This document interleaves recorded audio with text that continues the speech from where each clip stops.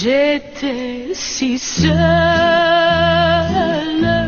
j'étais si triste, j'étais sans âme, abandonnée.